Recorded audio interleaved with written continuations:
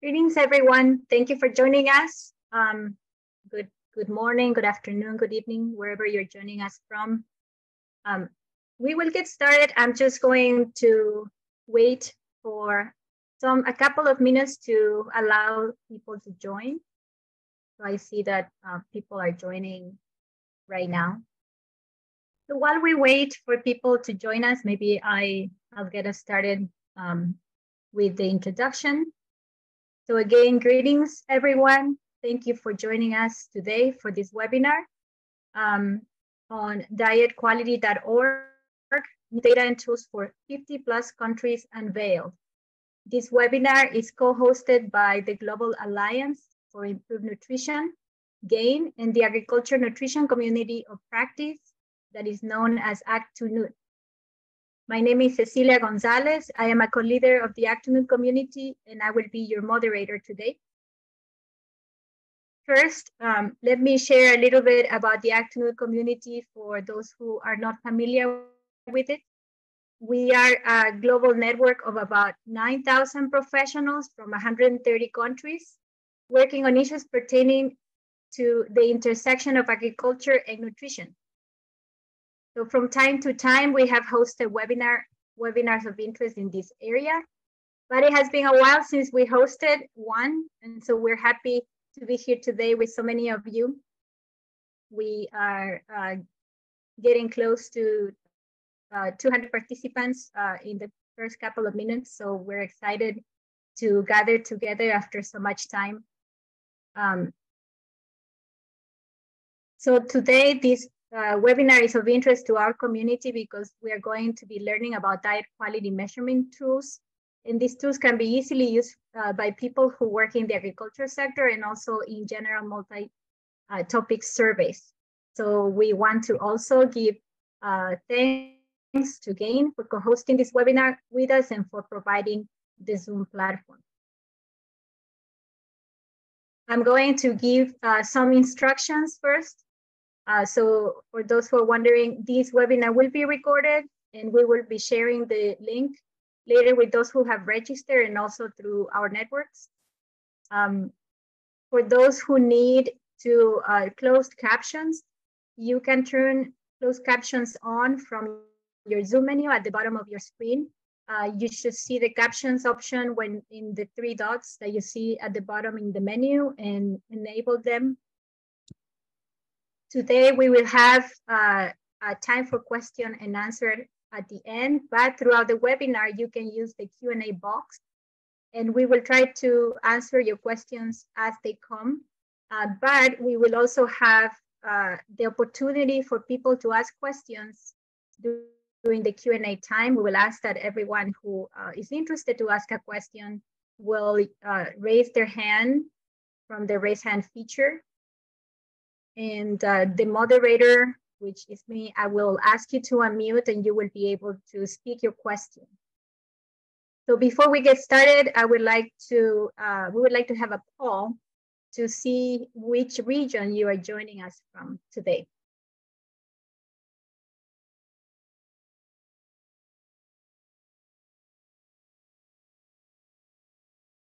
So we'll have this poll for a few seconds to until we get a chance for everyone to answer.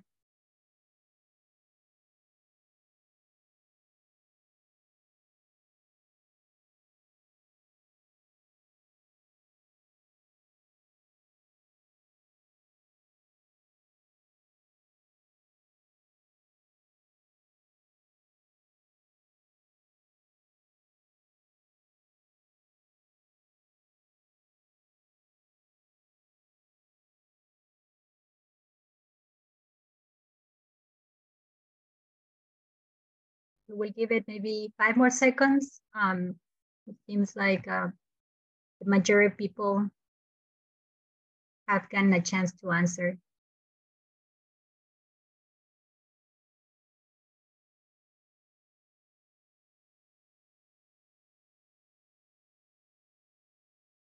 So thank you for joining us. I see we have a good number of people joining us from the African continent, uh, followed by Asia, um, then Europe, then North America, and then um, South America. I'm from South America, so happy to see everyone here.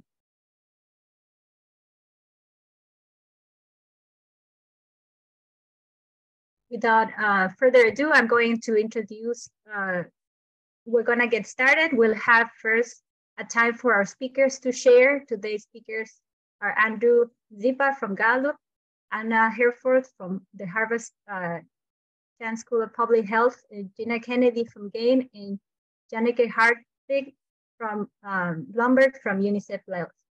So Andrew Rzepa is going to provide the introduction. Andrew is a partner at Gallup and the co-lead of the Global Diet Quality Project. Many thanks, Cecilia. In September 2016, the Global Panel on Agriculture and Food Systems for Nutrition produced a report called Food Systems and Diets, Facing the Challenges of the 21st Century. One of the key findings from this report was that unless policymakers acted decisively to control overweight, obesity, and diet-related diseases, all countries would pay a heavy price in terms of mortality, mental well-being, and economic loss. The report identified that one of the key barriers to proactively policy to proactive policy engagement was lack of data. This lack of data was urgently needed. Its absence was in inhibiting accountability and action. Upon reading the report, perhaps naively, I called Lawrence Haddad, one of the authors of the report, who brought on board a co-author, Patrick Webb, to see what could be done to address this data deficit and build a global diet quality monitoring system. The results of that call set into motion the work that we see today. They say that if you want to go fast, go alone. If you want to go far, go together. Delivering upon the ambition and mission of this project has only been possible thanks to the expert input of hundreds of stakeholders, ranging from those who helped us with the conceptualization of what a healthy diet means, all the way through to the hundreds of national nutritional experts who've provided and supported the food list adaptation process, which is now completed in over 100 languages and dialects. Today's release of 56 country datasets on the project website, representing approximately two thirds of the world's population, represents a major milestone towards the realization of the ambition of creating a global mechanism for monitoring diets across the world. The data available represents an initial foundation, a starting block towards increasing the visibility and the accountability of our food systems. More data an additional 30 plus will be uploaded over the next two years. Nonetheless, we recognize that for change to happen, regular, granular, country-owned data is necessary. To that end, we are delighted to report that a number of governments are now due to implement the Global Diet Quality Questionnaire into national surveys, thereby taking us one step closer to the realization of our ambition of a sustainable global monitor of diets. Once again, I'd like to thank all the collaborators, many of whom are on the line today. We've traveled a huge distance so far and reflecting the future ahead is bright. Without further ado, I'd like to introduce my dear colleague, Dr. Anna Herforth, Principal Investigator of the Global Diet Quality Project at Harvard Chan School of Public Health, who will walk you through what is available on the project website. Thank you, Andy, and hello to everyone. Thank you so much for joining today. We're really excited to share uh, the results of this data collection across 56 countries and also the tools that can be used um, by others to collect data and scale up data collection. Um, the Global Diet Quality Project is a partnership between Gallup, the Harvard Chan School of Public Health, where I am in the uh, Department of Global Health and Population, and uh, GAIN, the Global Alliance for Improved Nutrition. And thanks to GAIN again for hosting this webinar today and providing that platform. Um, and uh, yeah, I'm also the, the co-lead of the Ag2Nut Community of Practice.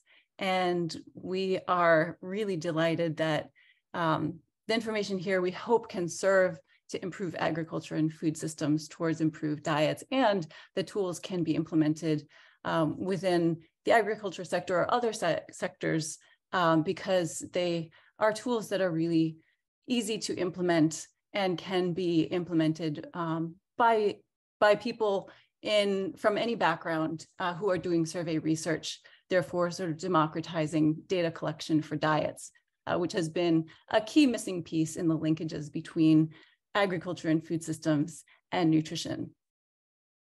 So I'm going to share my screen so that you can see the, um, the website which we are launching here today.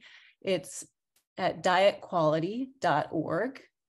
And you can see here, um, there are several sections of the website which I'd like to introduce to you. So the Global Diet Quality Project, our mission is to enable diet quality monitoring globally and in countries with tools and data. So what the website provides here um, are essentially the tools for collecting diet quality information and the data of what's been collected in nationally representative surveys to date through the Gallup World Poll. We also have a section here, um, which is explore by country, where you can find both the tools and the data. And in any, uh, it, you can go to any given country and find uh, these tools and data. And um, I want to point out here that the dark blue countries here on the map are where the nationally representative data has been collected within the Gallup World Poll so far. Those are the 56 countries, which represent approximately 72% of the world's population. And the medium blue is where data collection is currently underway or uh, planned within the next year, so that by 2024, there will be nationally representative data in 93 countries around the world, at least. And um, as Andy said, you know, we we aim to fill in the countries that are missed and have truly global representation um, and global statistics across all countries on diet quality as a key piece of understanding good nutrition, public health, and uh, the causes of malnutrition in all its forms. Um, I just, I want to emphasize that here, what we're sharing here today is the first time ever that diet data in the general population has been collected comparably using the same tools and indicators in nationally representative samples across countries. And this really fulfills something, you know, not only what Andy was saying in the beginning um, of his remarks around how can we fill this data gap on, on what people eat, um, it's something that I had been struggling with uh, as you know a nutrition professional and working on agriculture and food systems and nutrition for many many years. Um, even when i was a grad student and learning about the multiple causes of malnutrition and uh, finding data on what we know about those causes of malnutrition, including poor infant and young child feeding practices, um, disease risks, and uh, food insecurity.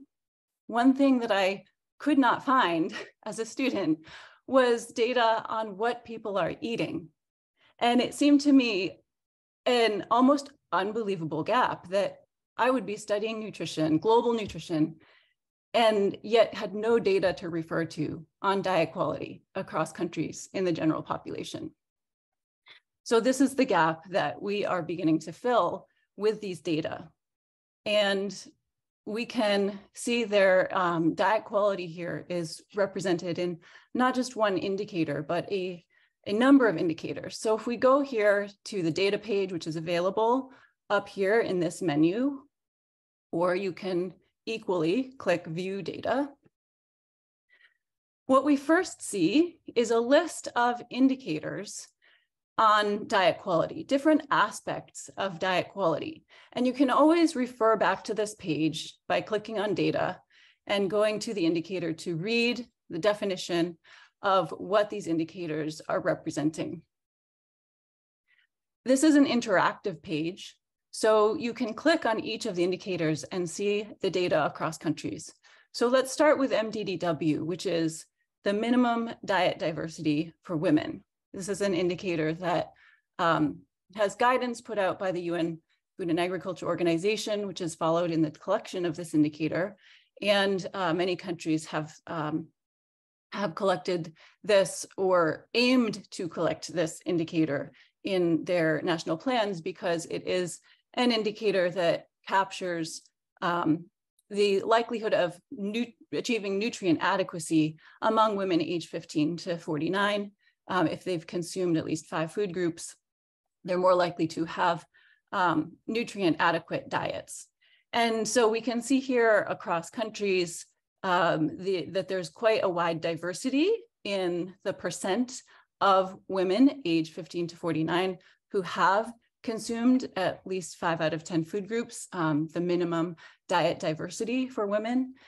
And um, these data can be very useful in advocating for um, you know, food systems and other, other ways to improve uh, diets so that they are more adequate. Um, you can see that you know within this diversity, there's a lot of richness. You could spend a lot of time looking at this. One thing that jumped out to me when I looked at this uh, data across countries for the first time was um, the looking here sort of there's a scale of um, you can see kind of the minimum and maximum of what's found across countries. And here in the minimum we see is coming from Afghanistan. And we know that conditions in Afghanistan are very poor um, for women's rights, equity, and in general, um, uh, you know, very poor situation in terms of food access and health and well-being. And we see that reflected kind of heartbreakingly in the data here. Um, and we can also look at the, uh, the food group diversity score, which is the same 10 food groups as are captured by the MDDW, but this is a count of the number of food groups that are consumed. And part of the reason for this indicator is that it can be compared between women and men. So these data collected in countries are of the general population, not only women. Um, this is the first survey um, to do that where we have data across countries. And this is really important because if we care about gender equity and women's diets, we need to understand disparities uh, between women and men. And we can also look uh, between urban and rural and different age groups that's within the data that's been collected. Um, we can also look at this indicator of all five. Uh, actually, again, you can refer to the indicator definitions. All five is an indicator that uh, is the proportion of the population who consumed all five of the food groups that are typically recommended for daily consumption in food-based dietary guidelines around the world. And these include vegetables, fruits, pulses, nuts, or seeds, one animal, at least one animal source food, at least one starchy staple in the previous day or night. These are sort of um, food groups that come up time and again in national food-based dietary guidelines. So if we look at this um, information, we can see actually in most countries, people are, are not, there's the majority of people in the world are missing at least one of or more of those food groups. Uh, we can see, you know, even in the United States, where um, there is, you, is the highest income country on this map, 43% uh, only are consuming all five food groups. And, um, you know, the bottom of the scale is is down to 14%. I think that again appears in Afghanistan. Um, when we looked at the data here, we uh, you know, could see uh, gender disparities, which were um, one of the largest places was in Yemen, where only a quarter of people are consuming all five food groups, but there was a big difference. Uh, twice as many men as women were consuming all five food groups. It's also interesting to see that you know we did not actually see gender disparities in in a lot of countries um, didn't show up as much in many countries in Africa. And so the data is, is helpful to show where um, these disparities do or, or don't exist. And um, these indicators I've talked about so far have to do with kind of adequacy of diets. um, required food groups and um, nutrient requirements and indicators of those aspects of diet. But adequacy is not the only, uh, the only piece of diet that's important for health. We also care about risk factors for non-communicable disease that come from diets. And here we have an indicator, NCD risk, which captures a number of food groups that are associated with risk factors for NCDs, such as diets that are too high in sugar, salt, fat and saturated fat, processed meats. And uh, we can see here, um, you know, there's the, the highest NCD risk factors from diets are showing up in uh, North America, in Central Asia, um, Chile, South, uh, South Africa are having some of the um, highest number of these uh, food groups related to risk. These come, the, the factors that I'm talking about come from the WHO healthy diet recommendations and uh, the recommendations here that include you know, limiting intake of free sugars, keeping salt intake low, et cetera. And so we capture these indicate these uh, recommendations within the indicator of NCD risk. One of the pieces in that indicator soft drink consumption, which we can see here, uh, again, showing up very high in, in South Africa, uh, Central Asia, and in the Americas um, in general. We can also look at an indicator of um, zero fruit and vegetable consumption, which also has to do with the you know, lack of protection against NCDs. And we can sort of see patterns showing up uh, much in West Africa, in South Asia, where um, this is a pretty extreme indicator of having no vegetables or fruit at all. In most countries, we see quite a, no, a high proportion of people are consuming at least some sort of vegetable, you know, at least some sort of tomato or um, green leafy vegetables are, are very common in, in many countries. Um, so this is a, a, pretty dire indicator of lack of, of um, fruits and vegetables, which are both health protective and uh, contain um, nutrients for health. And if we want to look at an indicator of these protective factors that protect against NCDs, this is generally an indicator about diversity of um, plant source foods, including whole grains, fruits and vegetables, legumes, nuts, and seeds. And um, we see quite a, a, high diversity of fruits and vegetables showing up in some of the countries in Asia and Southeast Asia. Um, we see actually Mexico shows up as a, a, having a fairly high score, and this is largely due to whole grain consumption. So one of the other things that we can see in this data is, you know, I've gone through some of the summary indicators, but you can also see consumption of each of the food groups where data was collected. So we can look at whole grains.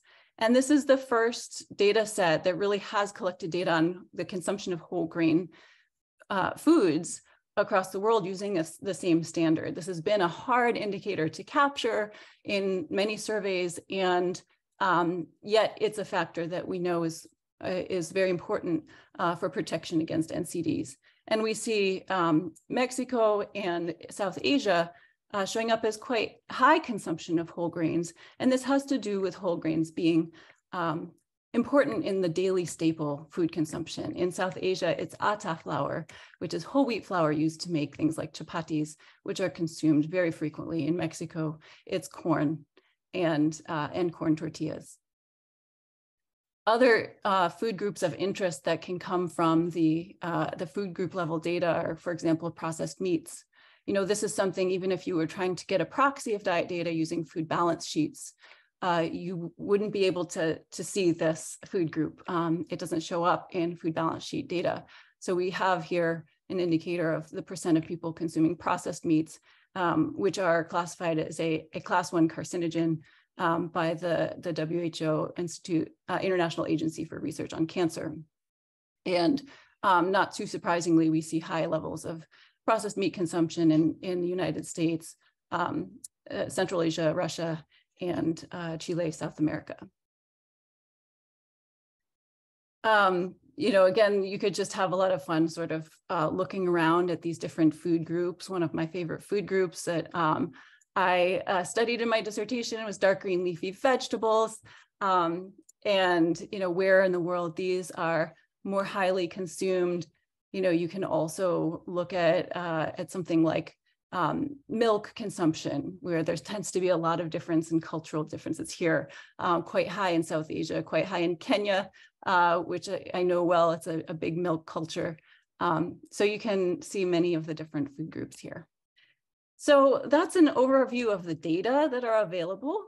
And then um, if you are in a position to be collecting diet data yourself, we have posted here the tools, including the questionnaires that were used in each country to collect this data so that you can use the same questionnaires in your own work and collect comparable data uh, or uh, you know these questionnaires one of the big reasons we provide them is to make it easy for uh, national statistics organizations or other government agencies to be able to collect diet data as well. The diet quality questionnaires uh, take about five minutes to implement. And they can be just, they're just simply read aloud. I'll show you an example from Tanzania. Uh, here we are at the country page. Data has been collected in the Gallup World Poll, which we see represented here on the side. In the resources section, we can click download resources and we find here the Tanzania Diet Quality Questionnaire in English and Swahili. So if we look at the Swahili one, we see um, the introduction that's been translated into Kiswahili. It basically asks the respondent to think about their day yesterday and everything they consumed throughout the day. And then these are yes or no questions on um, each food group. Um, so these can simply be read aloud exactly as they are. They require no um, follow-up questions, no probing. Um, they contain the food items in each food group, which are the most common, commonly consumed in the country. They're sentinel foods for each food group. And these sentinel foods have been identified through a very um, uh, participatory process with many people engaged from each country. Um, we talked to now, it's up to almost 900 people around the world to have identified the right sentinel foods and the right words to be able to um, ask about these foods in each country for now 117 countries. So these are all available, the, the DQQs for download. If you want to just read the English one, it is here. And um, you know, this is the whole thing. It's just it it's they're all printable on two pages, or they can be copied into other software. And the whole thing takes about five minutes to implement to um, then result in the indicators that, that I um, went through that we see on the website. I also want to point out that there's companion questionnaires adapted for infants and young children aged 6 to 23 months.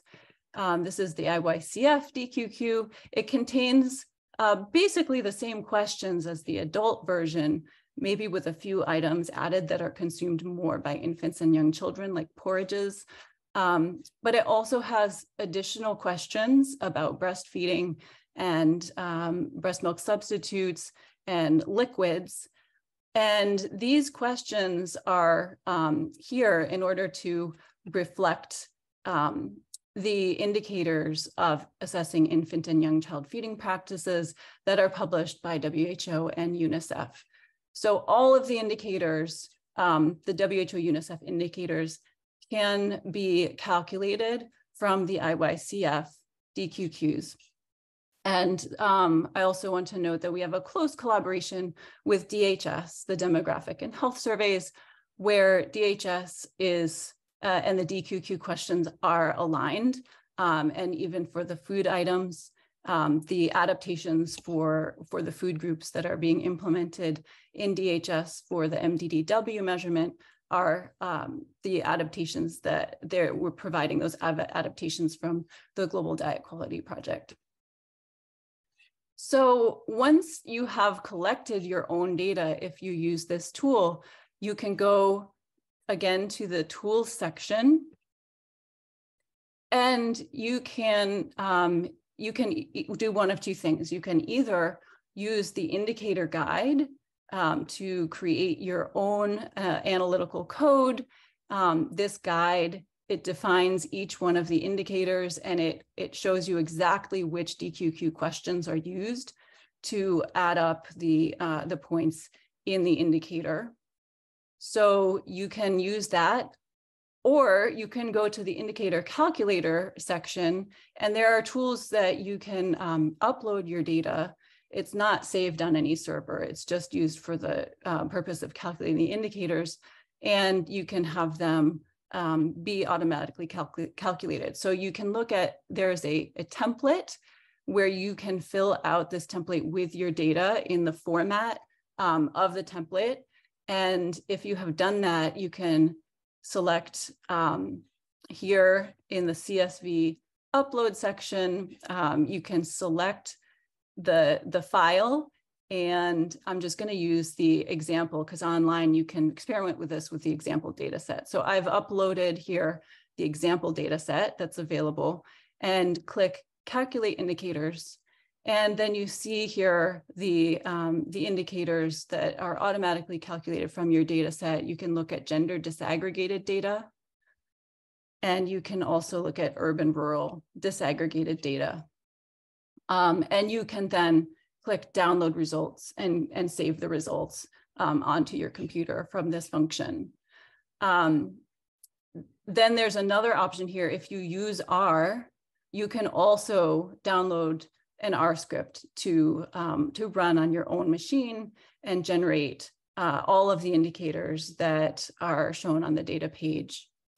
If you would like to uh, experiment with seeing how the indicators get calculated from the different food groups, you can go down to this section that has radio buttons um, and just think about your own diet um, yesterday and sort of click through on um, which food groups you ate or didn't eat. You can refer to the diet quality questionnaire from your country um, to understand what these food groups contain. And uh, as you click through these, you can sort of see how the indicators are um, being calculated.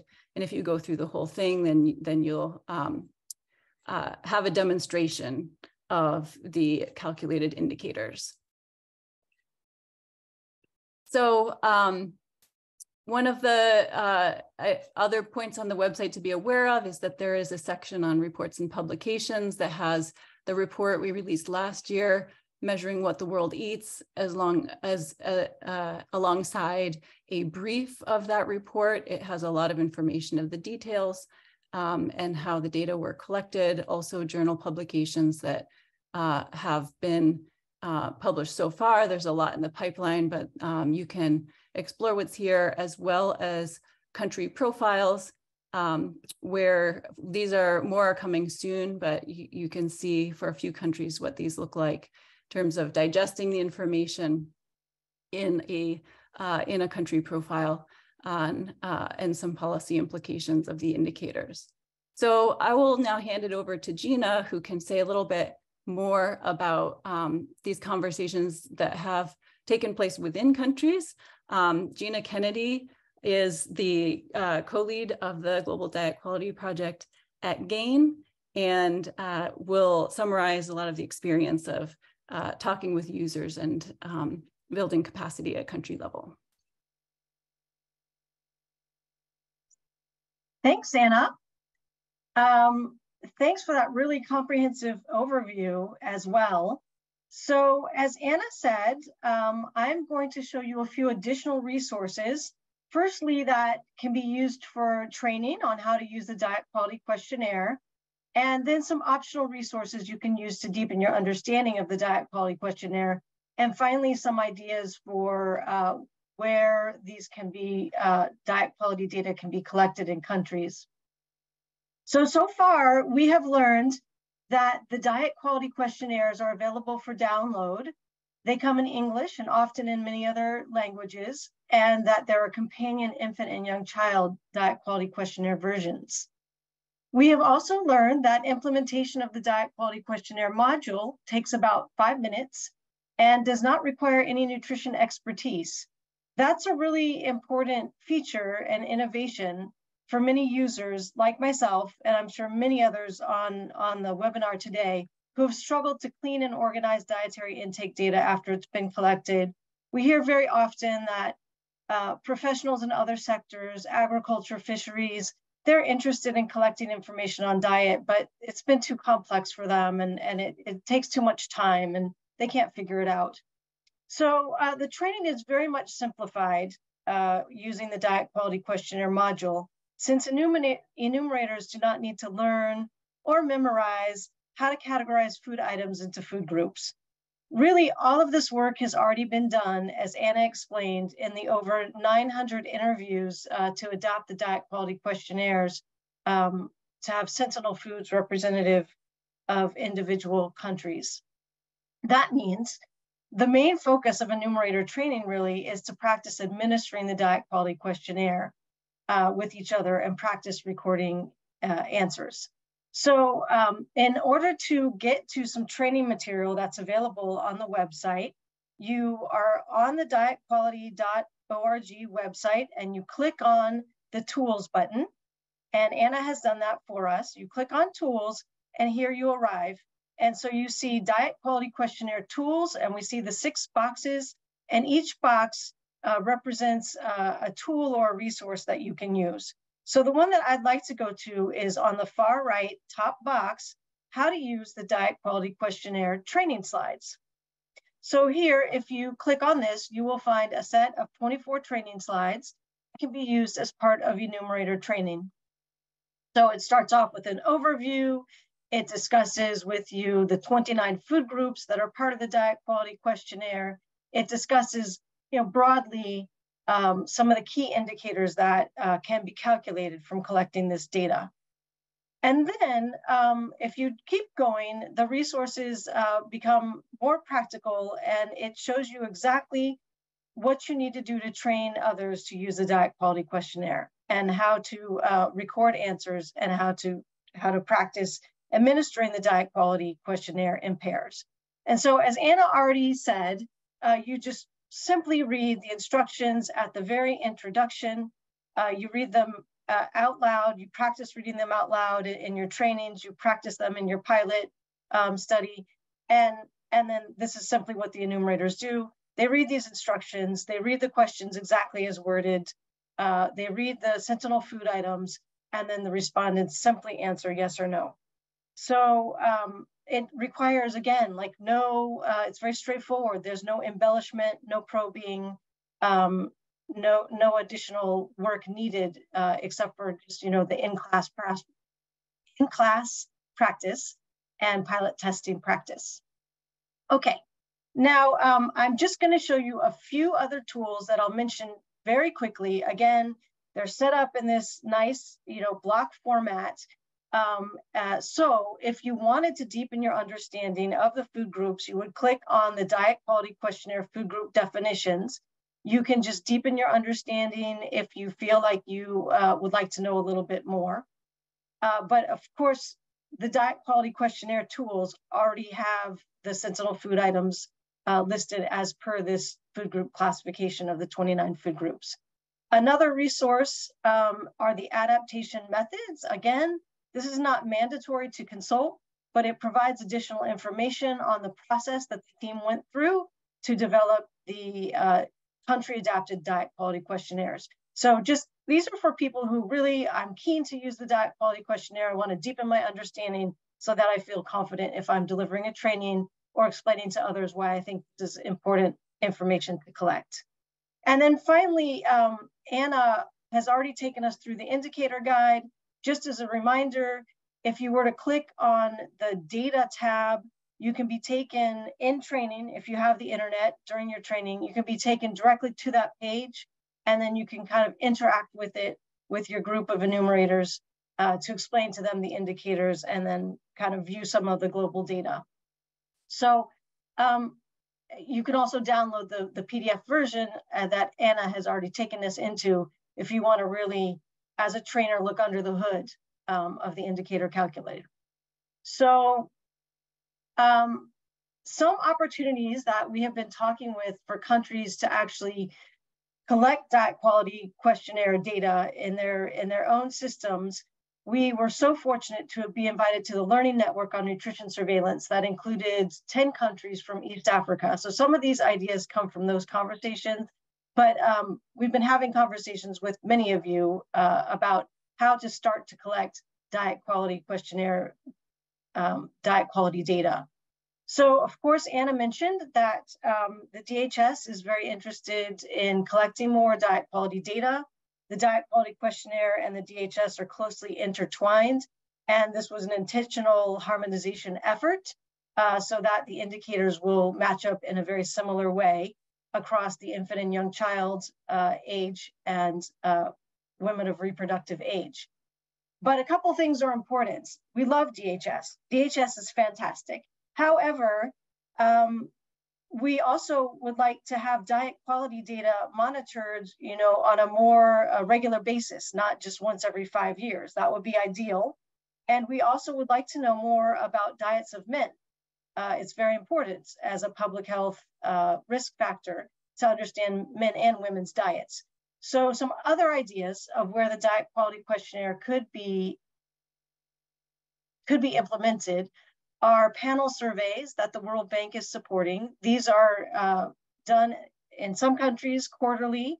Uh, so they go to households on a quarterly basis. It's a it's an addition to the Living Standard Measurement Survey or Household Consumption Expenditure Survey. And then finally, um, there's national monitoring information systems. There's the NIPIN platform, and then there's a lot of academics who are just uh, very uh, interested also in using the diet quality questionnaire in their research programs with their students. So before handing over to the next speaker, I would like on behalf of the Global Diet Quality Project to uh, express our heartfelt thanks to our donors. And um, we couldn't have come as far as we have with, without uh, the support, the generous support of our donors. So thank you very much. And now it's my great pleasure to introduce you to Janneke Hartvig Blomberg.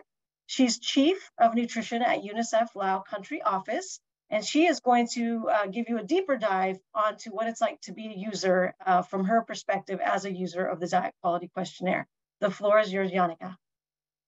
Thank you very much, Gina, and thanks to you and the other speakers for this uh, excellent presentation of all these wonderful resources indeed, we uh, or I represent uh, one of the countries that has has uh, uh used this data. Um, Laos is a small country, as you can see here in Asia, surrounded by um, countries that are maybe more more known than Laos, such as as, as Thailand, Vietnam, China, and, others.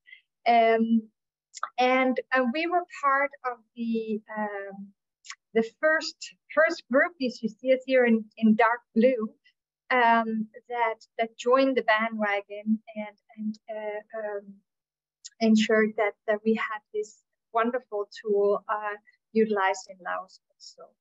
Uh, we joined hands with the DQQ team to uh, support on the adaptation uh, of of these, the standard tool for the context of Laos and, and the translation of it, as well as supported the, the data collection.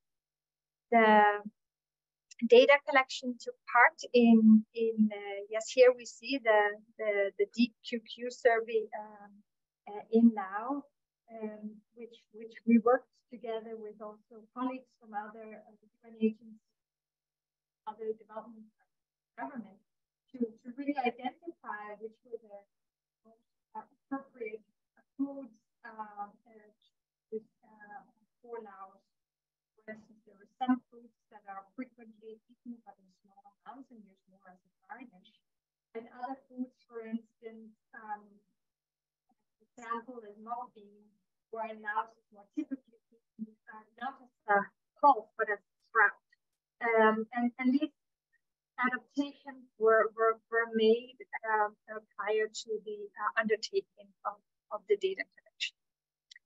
Uh, the data was collected in the uh, uh, third and fourth quarter of 2021 and was collected through 1,000 adults. And since, since then, um, data was, was analyzed and we have been, been, been using it for a number of things. First of all, um, uh, we undertook also, with the support of the DQQ team, uh, a more detailed report that, that helped us to also reflect on the policy implications uh, um, that uh, there is associated with some of the findings from the DQQ. Um, we have disseminated the, the data similarly to you have seen here the, the, the two-page uh, briefs uh, from some of the other countries. Uh, we too disseminated this as part of, of the, the uh, NIPIN uh, platform in, in Laos and um, have been using it uh, for, for a number of things.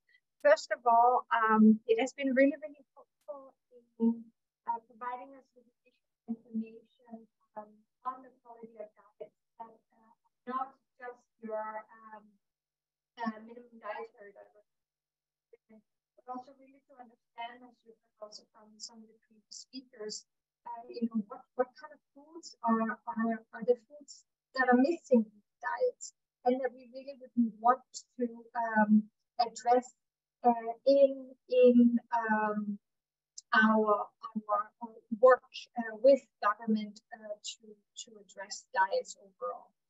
Um, during uh, this time, it has been a very difficult time for, for, for Laos with respect to an economic uh, crisis following the COVID 19 pandemic. Um, and, and we have uh, also been using the, the data not only in the triangulation with other sources of data, including uh, also uh, data on food insecurity to better understand the, the, um, uh, the quality of diets, but also uh, with respect to informing the uh, agenda with respect to the food systems uh, not just in terms of influencing the policy dialogue that uh, happened uh, um, in 2021, but um, also with respect to um, the uh, development of a action plan, which we're full, full uh, fledged into right. Um, I can understand that there are some uh, sound issues with my connection, I, I presume. Um, so in case there is any questions, feel free to type them in the Q&A box and I'll be more than happy to support. Thank you. Thank you so much, Janneke. Sorry, everyone, I may have chopped up all your names when I pronounced them earlier. But um, thank you all uh, to all our speakers. Um, this is really very interesting. We have a highly engaged uh, audience, participants uh, who have a lot of questions. And so we're going to spend the next 10 to 15 minutes with um, Q&A. I would ask our speakers to turn on your videos.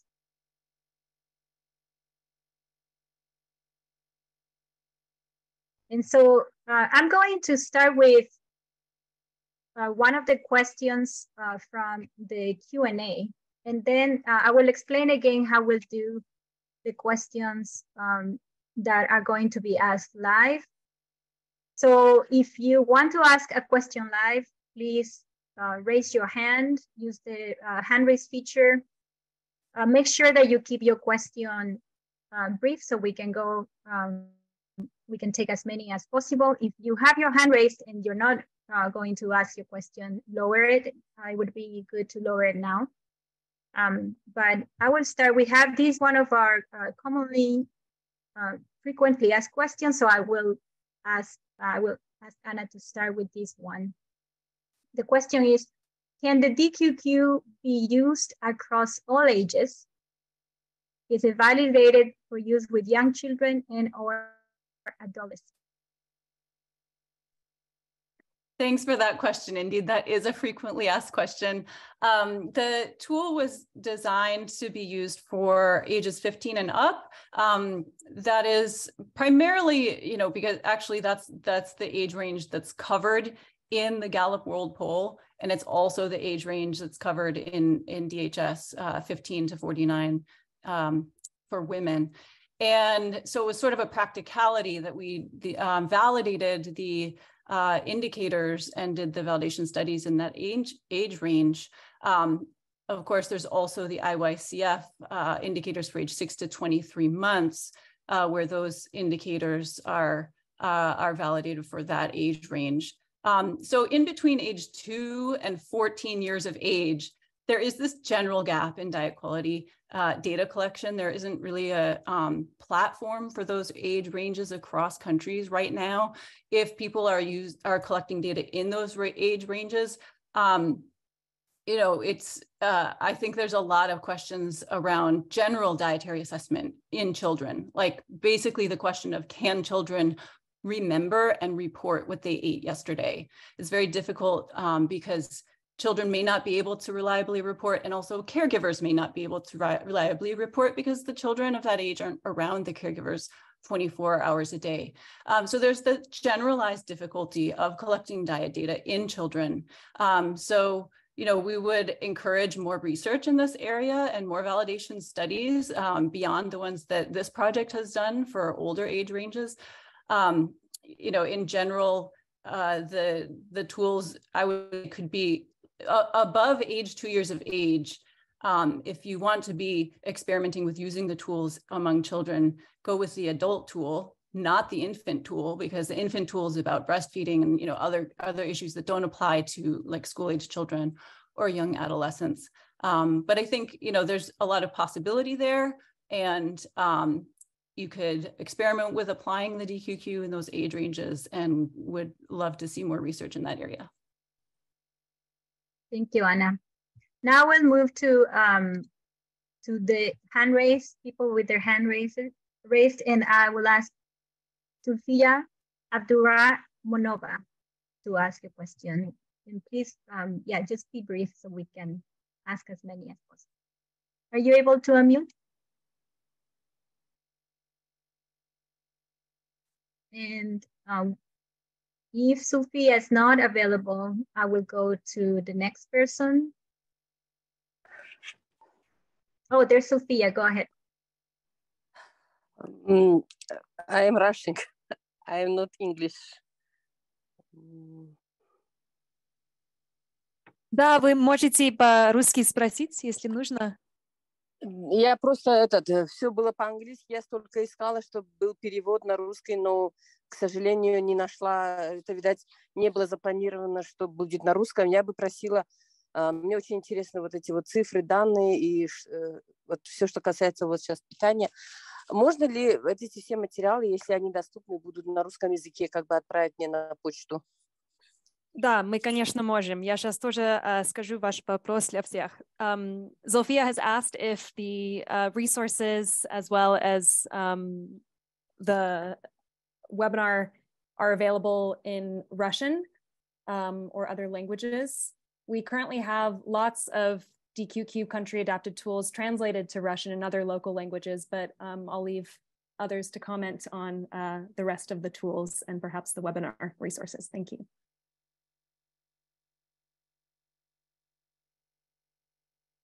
Yeah, any other comments for um, language accessibility? Yeah, sorry we weren't able to translate the or interpret the webinar in real time. Um, and you know there might be technological resources available to to interpret it uh, after the recording is posted. Um, but um, as Christina said, you can find the tools themselves translated into Russian and other languages um, for uh, for use. And it's a good point. We'll think about some of the training resources as well if uh, in the future those could be translated. Thank you. Thank you, Anna. So I'll take another question from the hand, raised um, audience. I have Alberta Theorem.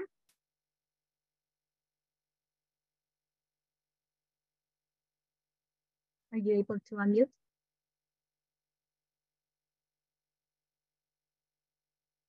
And um, if um, while we wait for Alberta to unmute, uh, will if that is not possible, I will go to the next one. I have Mfusi Bugatti. Hello. I hope you can we hear can me. hear you. Yeah. Oh yeah, thank you. thank you so much. I think I, I, I would first like to thank the the presentation and this project. I think it's, it's it is very good and, and, and extremely useful and amazing. In fact, uh, I, I work in in in Africa, and one of the indicators, the key indicators that you presented, the minimum dietary diversity, score for women. It's one of the indicators that we are tracking here, here in the continent for the for the Malabo indicators. But then the problem is countries do not report on this indicator and they, they, they, they claim there is no data and all this. So I want to know how do you embed these, these interesting findings and studies into the political acceptability of the data such that the nation then reports and, and takes this data as their, their own and report on it officially in the official channels. Thank you. Thank you. Um, who would like to take this question?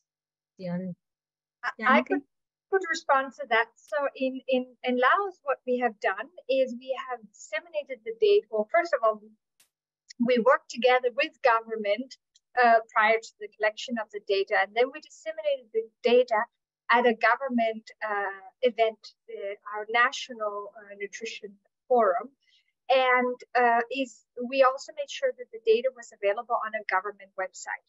So, so basically, we, while it was the initiative of development partners rather than government, then by ensuring that they were closely aligned throughout the process, um, they have really uh, gotten great ownership and, and again has taken it on as, as, as their own. And, and uh, uh it's it's now again as mentioned the results are are, are hosted on government uh, websites and and are, are being used as one of the resources in country. So I really think that that close engagement is, is really key uh, to to to build the ownership and, and then subsequently the use. Thank you. So I'll, I'll just add to that, um, uh, but it's it's really the same thing that Janneke said. So just to uh, reinforce, is it's really very important to have this level of country engagement. Uh, we are, we've been doing that with some of the GAIN countries, uh, gathering together ministers of agriculture, ministers of health, ministers of education, as well as UN offices and, and others in countries to sort of explain the value of this. But it's really um, heartening to hear you say, Mfusi, that um, the minimum dietary diversity of women is being taken up across the continent of Africa. So um, hopefully this just adds, uh, you know, more fuel to uh, to collection of, of good data on diet quality. Thank you for that. Thank you. I'm going to go thank to, uh, thank you so much for your question. I'm going to go to another question from the chat that um, is you know, asked frequently, and I will ask Andy to respond. So can you give us um, just an overview of how the data is collected by Gallup? Absolutely. So the module sits on a broader multi-purpose survey called the Gallup World Poll. So we've been undertaking that annually since uh, 2006. Ultimately, out of the 140 plus countries we survey every year, in high income countries, we're using um, outbound telephone, so random digit dialing, so probability based methodology. And then for all low and middle income countries, we're using face to face surveys.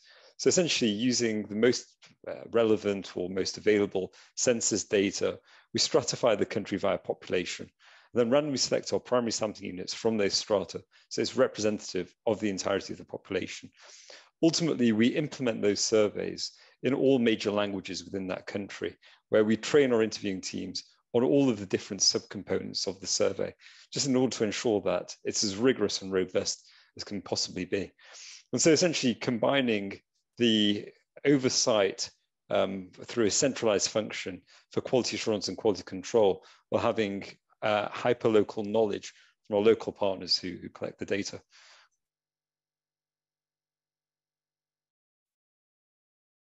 Thank you. Um, I'm going to go back to the questions uh, on with the hand raise uh, feature. So next in my uh, screen is Erdenechimeg Uzizuren. Um, Chimge is actually a good friend of mine. Go, uh, go ahead and unmute yourself.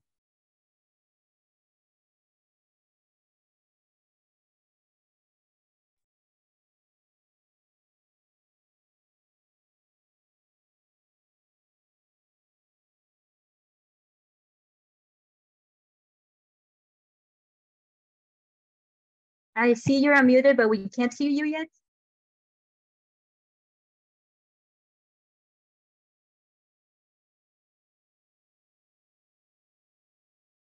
In the meantime, oh yes, we can hear you now.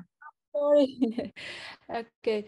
Uh, uh, I'm so happy to be here. Uh, I was just thinking now that exactly a year ago, I was one of the key informants uh, uh, with Chris I think his name was Chris, uh, to go through the list of the Mongolian dietaries and giving some Mongolian alphabetical name, etc. So I'm so happy that uh, after one year, it's now all produced and publicly available, being a public good for all of us. So uh, I have two questions. One is to Andrew. Uh, I see that Mongolia's data collection is planned next year.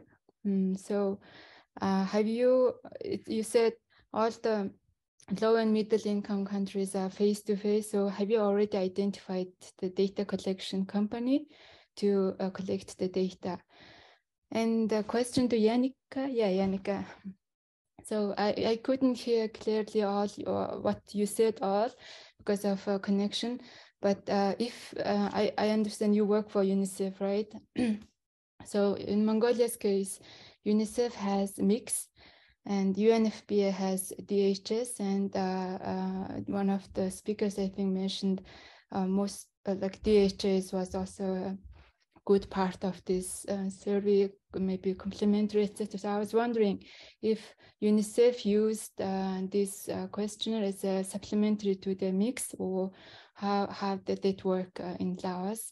In Mongolia, we, we have every five year uh, UNFPA uh, UNICEF combined MICS and DHS, and we we gave a name social indicator sample survey SISS.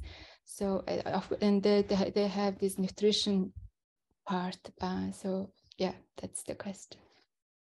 Thank you. Um, maybe I'll address the uh, first part of the question. So we have long-standing collaborators in, in all countries. So as mentioned, we've been doing this for almost a decade and a half. And so essentially, we view those partnerships as almost a part of kind of our capacity development, where annually we're continuing to provide insights and training. So we it's yeah, so essentially we've we wouldn't necessarily look at changing a partner unless there's good reason uh, to do so. And, and, maybe I can come in on the second part of the question with respect to uh, whether this is complementary to, to uh, the MICS or not.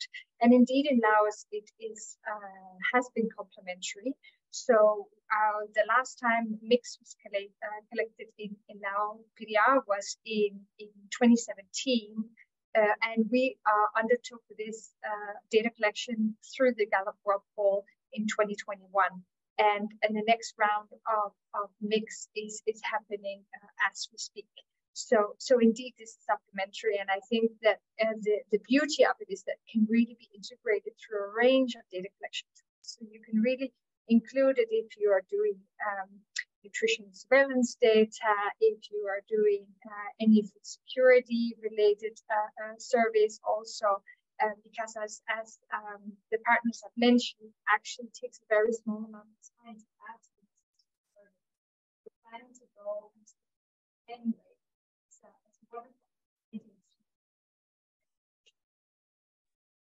Janneke, your uh, sound is going out. I don't know. It might be the connection. Apologies. I think I do have some connection issues there. It's, it's uh, I'm calling from home. It's a bit late here, so apologies. Indeed, uh, it is uh, complementary, and what is referring to um, beauty of the tool is adapted into a range of different uh, surveys or surveillance or, or, other types of, of uh, sources of data that are quite easy. Thank you so much. And um, yeah, if you also want to type maybe something in the chat, um, just for clarity because of the audio, feel free to do that. So then uh, there's a, a, common question too that has come up um, about whether there are plans to collect other data by Gallup or, or in general. So would, um, maybe Anna, can you start answering that and then we'll pass it to Andy? Sure, I can start. Yeah, so um, as you can see on the website, um, you can see exactly which countries are planned for data collection this year and next year. It's another about 38 countries or so, um, in addition to what we have now. You'll see that uh, there are gaps. Um, there are uh, essentially no countries in Europe that are covered, uh, Middle Eastern countries, Pacific, Caribbean, and other parts of Latin America. And the reason for that is really um, funding driven. You know, these collection of these data rely on donor funding, and many of our donors uh, have restrictions on spending uh, their resources on geographic areas or really on um, to on uh, countries that are high income. So uh, we do believe that it is important to have data across all countries and that diet quality is a public health issue everywhere. Um, you know, the, the Global Burden of Disease study estimates that uh, poor diets are essentially the top risk factor in the global burden of disease. And a lot of that has to do with uh, non-communicable disease risk. And that's very important in high income countries and not only in low and middle income countries. Um, so I think, you know, what we've done so far is, is we're building towards global data collection. There needs to be uh, more of a sustained effort for diet data monitoring across countries. And some of this will probably come from countries themselves. You know, we would like to provide these tools so that countries can implement the DQQ in uh, very easily in their existing monitoring systems. It's a five minute module that can be inserted into a um, household consumption and expenditure survey. For example, um, I think Janneke was referring to that possibility of how the, how the questionnaire can be incorporated into existing um, questionnaires and data collection within a country. And I, I wondered if Andy might like to reflect a little bit on how that's happened and Gallup's experience in the past uh, regarding food insecurity. Absolutely. So um, I suppose the forefront forerunner for this project was Gallup's collaboration with the United Nations Food and Agriculture Organization um, on validation and implementation of the food insecurity experience scale. Um, so essentially, we helped partner with FAO to validate what would be the framework, which would eventually become the food insecurity experience scale.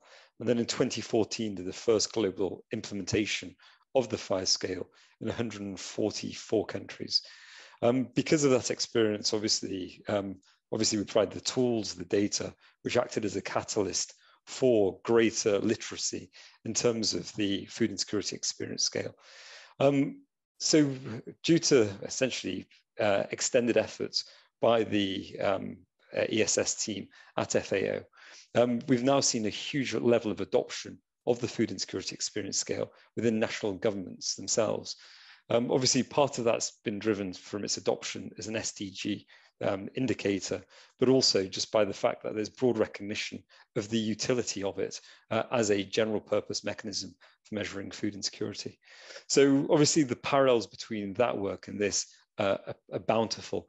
And so hopefully we can see a similar level of success around this initiative as we've seen for that one.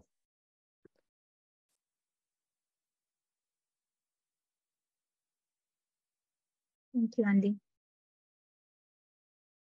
So I see that, um, oh, Gina, did you want to also comment or should we move to the next question? I think let's just go ahead and take another question from the audience. Yeah, thanks.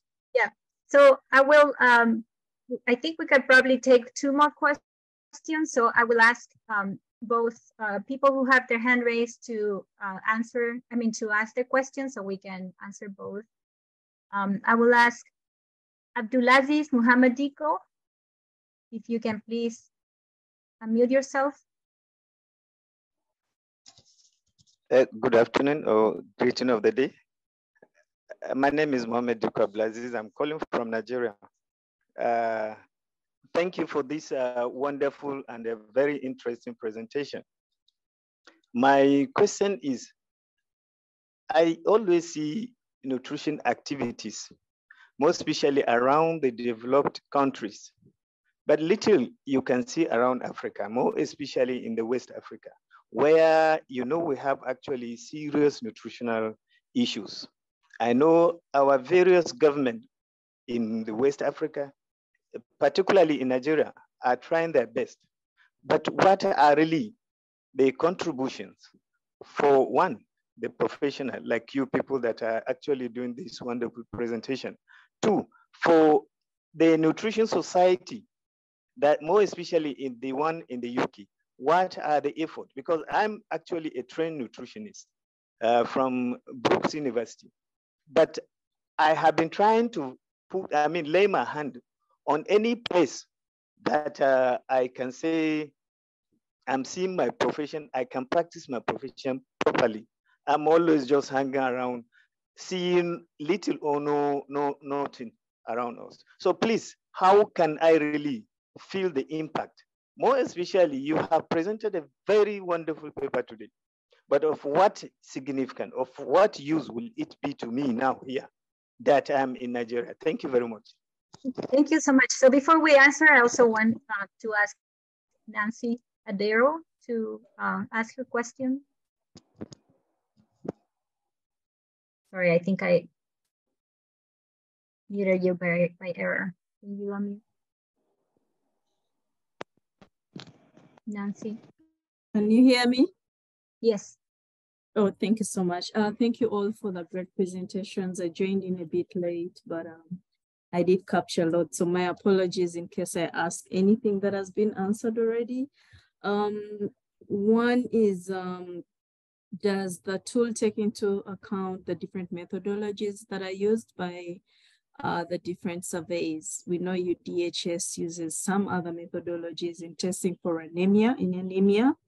Uh, in Uganda, um, we do have the UNPS and we do use different methodologies as well um, and how often do you have to update uh, this data based on the different sources of data that we countries could possibly be having?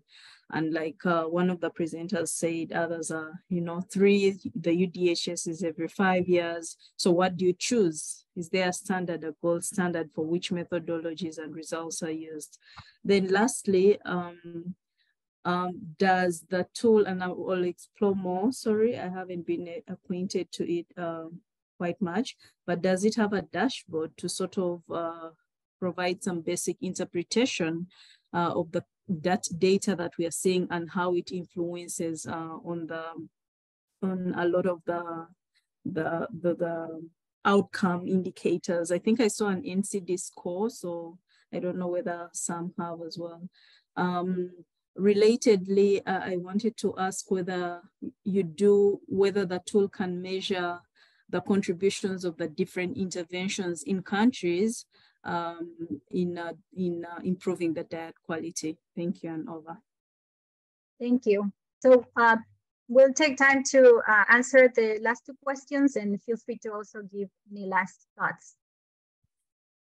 Yeah, let me jump in first and then I'll pass it over to um, the other panel members just to close out. But thank you so much, Mohammed and Nancy, for those really great questions. Appreciate them. What I'd like to say, um, yes, Mohammed, I know sometimes sometimes we struggle, right, as a nutrition community to really feel like we're making impact.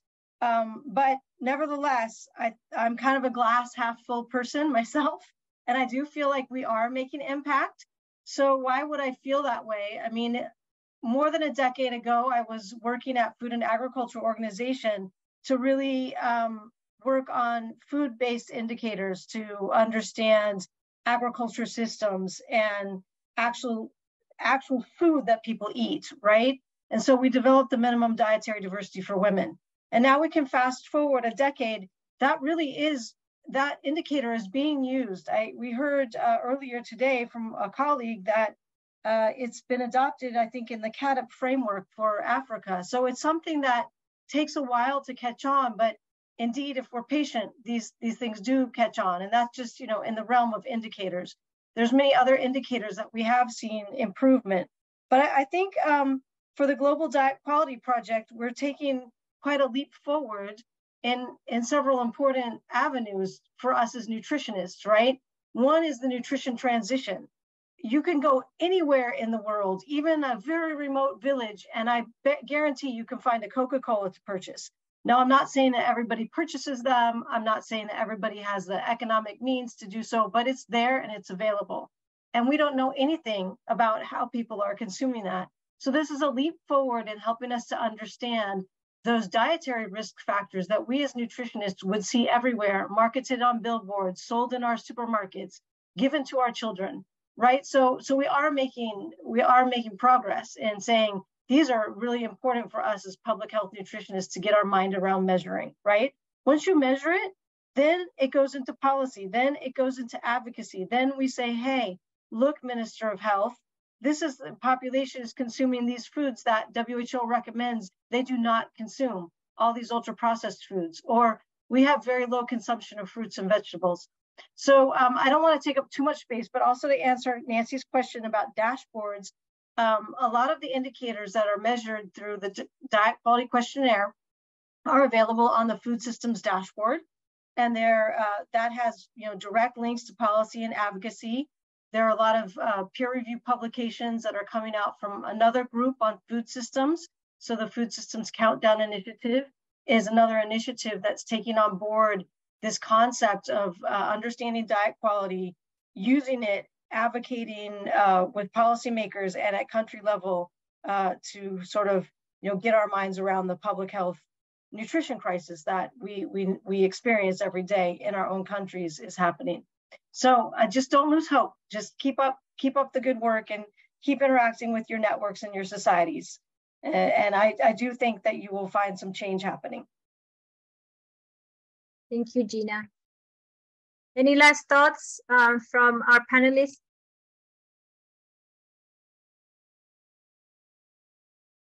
Well, we have gone over time, so I think I just want to thank everyone for joining us. Thank you for your great questions. Thank you for the speakers. And we, um, I also, I, I am also part of the DQQ adaptation team. So I know that a lot of our key informants are here. So we want to thank you again for all your collaboration because we could not have done this without you. And I'm really proud of um, this global effort to make these tools available um, for everyone who could use them. So thank you so much, and I will close uh, the webinar. Uh, you'll have a good day and evening uh, in all the places where you where you are.